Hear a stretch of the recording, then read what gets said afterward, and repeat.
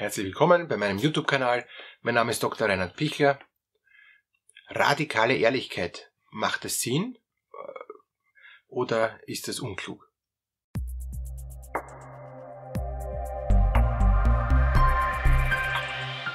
Ja, wenn jemand Ehrlichkeit ähm, schätzt, ist das immer von Vorteil, weil ähm, ehrlich wird am längsten, wie schon dieses Sprichwort heißt, und, und ich weiß dann, dass ich für mich ein gutes Gewissen habe, weil ich habe nichts äh, zu verbergen und, und ich kann die Dinge so auch auf den Tisch legen, weil es gibt äh, für mich nichts, was ich schönreden muss, was ich irgendwie verdrehen muss, äh, so dass es sogar dann am Schluss schon eine Lüge wird. Also Ehrlichkeit ist was total Kostbares. Es gibt aber auch Menschen, die ähm, erschlagen mit der Ehrlichkeit jemand anderen. Die sind so radikal ehrlich, dass es einfach unangenehm ist. Also es, es ist unpassend, ähm, wenn ich jemand sag, ähm, du bist so hässlich, also das ist kaum zum Anschauen. Das ist vielleicht radikal ehrlich, aber es ist nicht, äh, nicht okay, es ist nicht wertschätzend.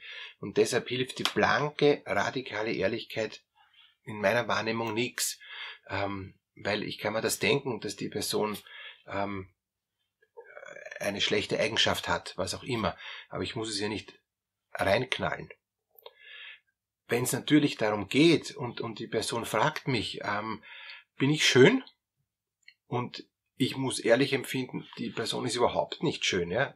Äh, und, und es ist erschütternd, äh, äh, wie, wie, wie sehr sie sich auch also nicht schön gemacht hat und wie man sich auch besser schöner machen könnte. Ich also habe jetzt eine Person wirklich im, ähm, im Blick, die sich durch äh, furchtbares Schminken und, und so, also wow, wo man sich denkt, hey, bitte, bitte, hast du noch nie eine Farb- und Stilberatung gemacht, hast noch nie mit jemand geredet, äh, wie du dich ähm, also auch passend ähm, schminken kannst, ja. Und, und auch anziehen kannst und so, ja. Na, weil die hat eine ganz schwere Persönlichkeitsstörung und die kann das nicht wahrnehmen. Und, und da weiß ich dann, dass die eine, also ich, in dem Fall weiß ich, dass die Person eine schwere Persönlichkeitsstörung hat. Und da kann ich mit ihr dann auch reden, wie ist denn ihre Selbstwahrnehmung, wie ist die Fremdwahrnehmung, die ist ganz gestört bei dieser Person.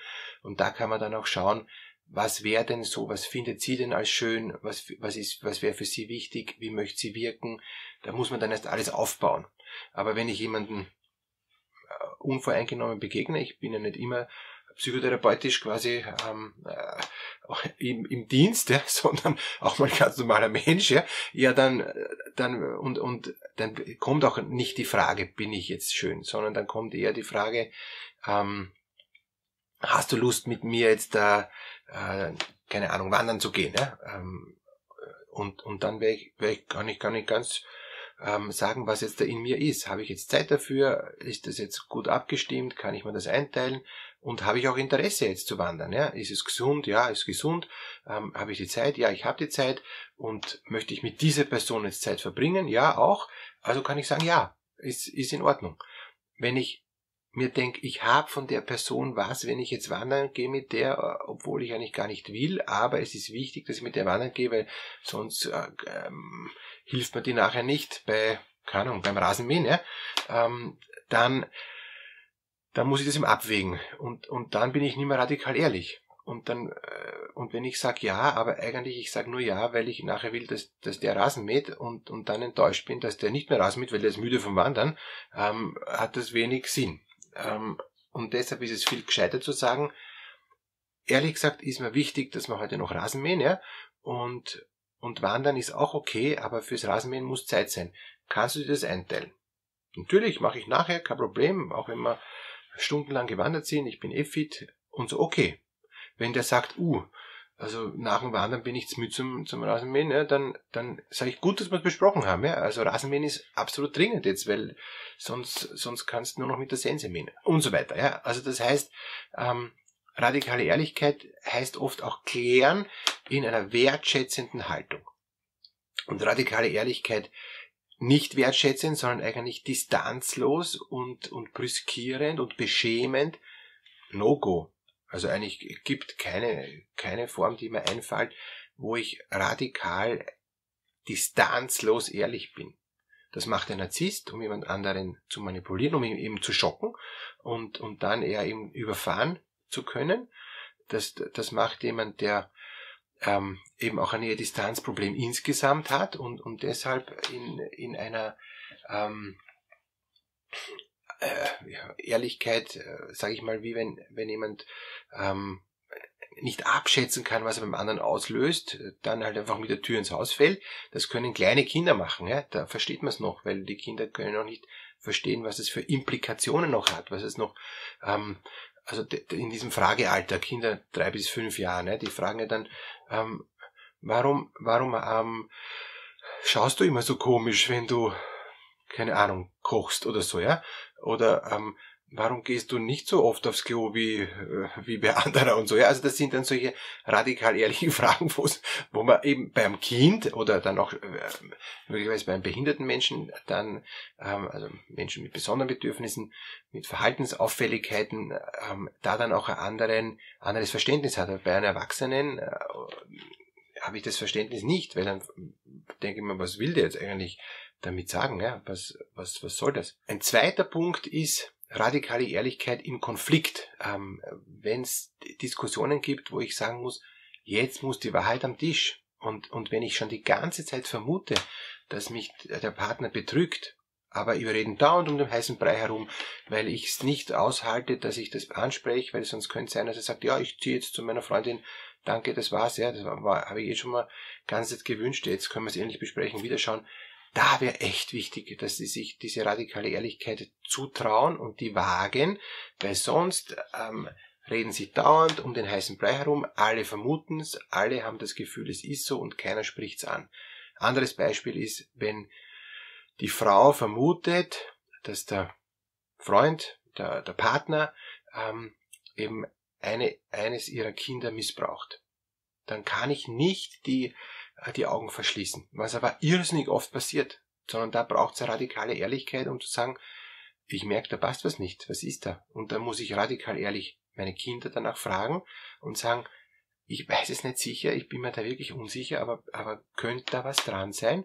Und wenn die Kinder dann, dann sagen, ja, da ist was dran, dann muss ich handeln. Dann kann ich nicht mit dieser radikalen Ehrlichkeit sagen, na ja, jetzt weiß es, aber jetzt äh, lassen wir es lieber, weil das ist mir alles zu schwierig und zu heiß. Nein, nein, dann muss ich jetzt handeln, aber wirklich rucki zucki. Und, und zwar deutlich. Dieses eine. Und das zweite ist, ich muss bitte in der Lage sein, ähm, wenn ich äh, diese radikale Ehrlichkeit wage, muss ich auch die Wahrheit aushalten. Wenn man der Mensch jetzt sagt, ja, ich habe schon seit zwei Jahren eine Freundin und, und ich bin ähm, äh, ohnehin schon längst weg, gut, dass wir es besprechen, ähm, wie können wir uns trennen? Ähm, machen wir es einvernehmlich und, und schauen wir, dass wir das so machen, dass wir beide gut, gut aussteigen, so dass wir es wirklich gut und gerecht teilen, dann muss ich mitmachen. Wenn ich dann sage, na, das wollte ich jetzt eigentlich nicht, deshalb habe ich es ja nie angesprochen, ich will ja unbedingt, dass es so bleibt, wie es ist und ich will, dass ich trennst von der Freundin und wieso kann ich ihn wieder zurückhalten, äh, zurückhaben, ja, ja, dann klar, dann muss ich es ansprechen und, und dann muss ich in die Richtung weitergehen. Aber das dann ist dann auch radikal ehrlich. Und wenn der Partner in die Richtung gehen will und, und, und ich in die, ja, dann werden wir vielleicht nicht zusammenkommen. Aber da braucht es dann auch eine Ehrlichkeit. Ich finde, ähm, gerade bei Konflikten, auch im Team, äh, in, in der Arbeit, im professionellen Bereich, es muss alles am Tisch, aber wertschätzend. Also es braucht eine Transparenz, es braucht eine Klarheit, es braucht eine Ehrlichkeit und, und es braucht den Mut, ähm, das auch dann emotionsarm, sage ich mal, durchzuhalten, sachorientiert das zu besprechen, dann kommen, kommt man gut weiter, sowohl in Beziehung als auch, auch im Beruf. Sonst äh, habe ich dauernd andere Interessen und sonst verschieben sich dann immer Dinge, wo ich mir denke, wofür äh, tue ich mir das an? Ähm, ich komme eben nicht weiter, wenn ich äh, dauernd aus bestimmter Hinsicht und aus bestimmter Rücksicht dann es doch nicht wage und, und na, das ist falsch. Also bitte, bitte ähm, den Mut haben, die Dinge anzusprechen, aber dann muss ich es auch aushalten, wenn ich es anspreche. Und ich halte es dann leichter aus, wenn ich auch emotionsarm bleibe, wenn ich, wenn ich die Sachorientierung im Blick habe und wenn ich auch sage, stopp, das muss ich mir überlegen. Das kann ich nicht jetzt entscheiden, ja. Ob ich jetzt ausziehe oder nicht, ob ich mich entscheiden lassen will oder nicht, ja.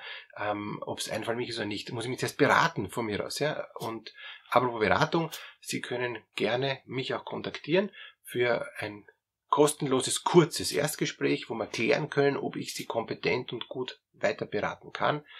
Und unten in der Videobeschreibung finden Sie den Link dazu, um sich für dieses ähm, unverbindliche kostenlose Erstgespräch anzumelden. Alles Gute für Ihren Weg in Wertschätzung, Würde und Ehrlichkeit.